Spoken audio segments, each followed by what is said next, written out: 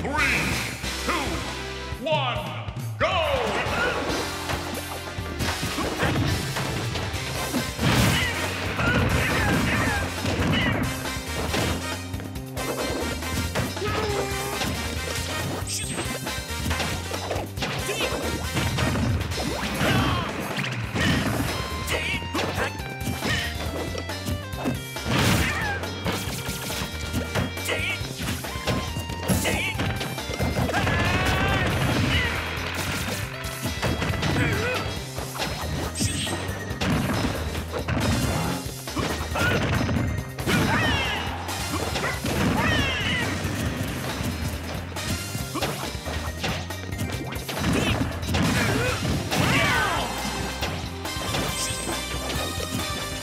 Take